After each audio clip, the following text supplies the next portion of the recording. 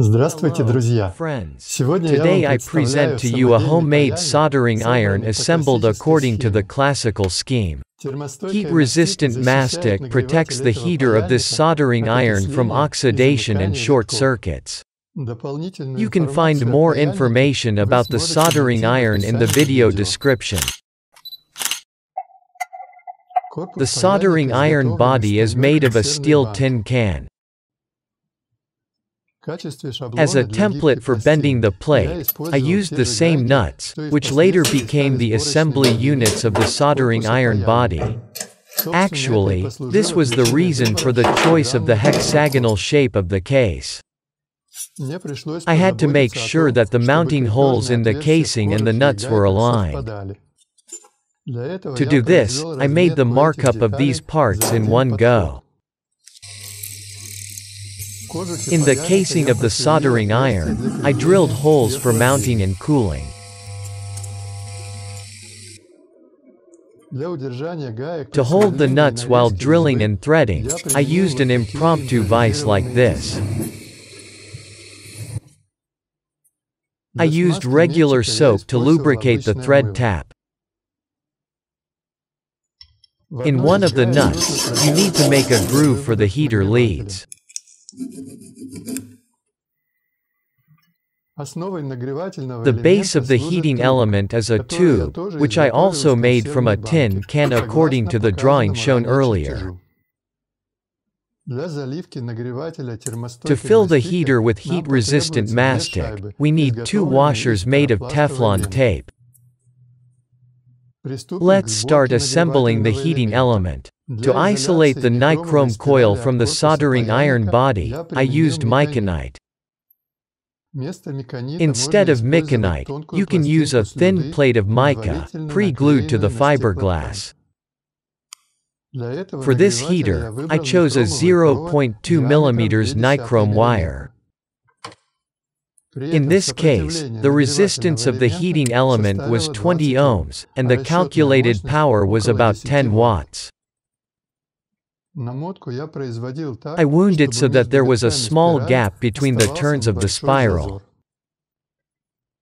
It is advisable to fix the coil with some kind of glue to make it easier to continue assembly. For reliable contact of the leads of the heating element with the power cable, I reinforced the ends of the spiral with a galvanized copper wire.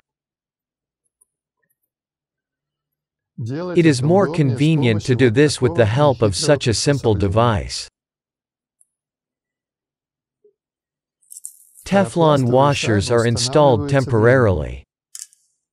They will not allow heat-resistant mastic to stick to the soldering iron's structural elements.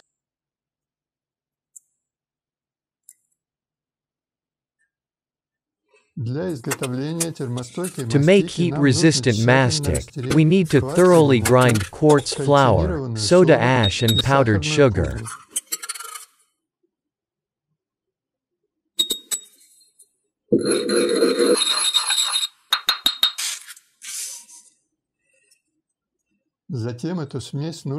Then this mixture must be poured into a metal or plastic dish. Add liquid glass there and mix everything well.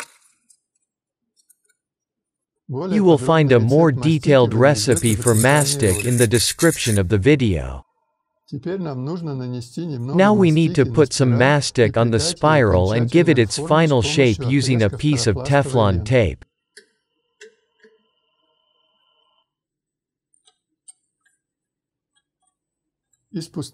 From a hollow steel rivet, I made a threaded bushing for the soldering iron power cable attachment point.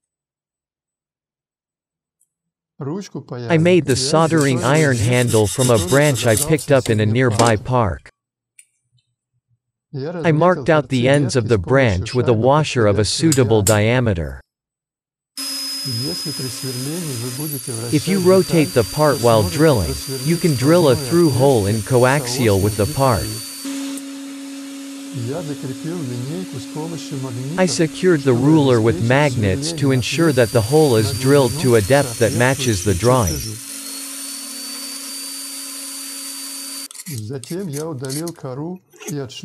Then I removed the bark and sanded the outside of the wooden handle with sandpaper. I also did not forget to drill a hole for the cable attachment point. Finally, I varnished the handle. I used epoxy glue to attach the next two pieces to the handle of the soldering iron. The first part is the spring from the ballpoint pen, which protects the soldering iron cable from breaking. The second part is a threaded bushing that fixes the power cable in the handle of the soldering iron. Remove the Teflon washers before final assembly of the soldering iron. Next, we put fiberglass tubes on the heater leads. I take them out of electric stoves that neighbors periodically throw out. We can glue the body of the soldering iron into the handle with silicone sealant. I didn't because I wasn't sure the first take would be successful. I also made the power cord myself, since I did not find a sufficiently flexible cable in my workshop. The heater and cable ends must be of different lengths to use uninsulated twists.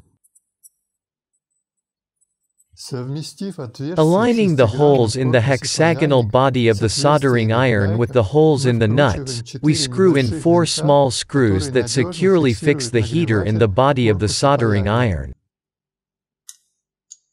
The replaceable tip of a soldering iron with a diameter of 3 mm is secured with a locking screw.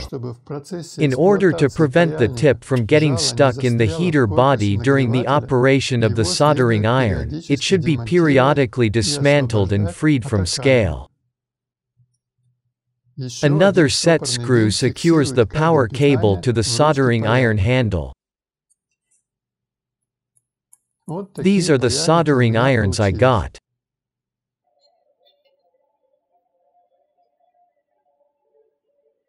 The soldering iron can be connected to any 15 to 20 volt regulated power supply. This will allow the temperature of the tip to be set within a wide range. It takes just 3 minutes to heat the tip to 350 degrees Celsius.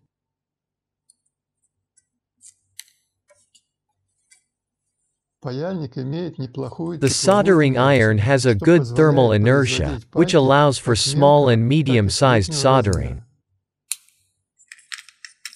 Wish you creative success friends. See you on the channel.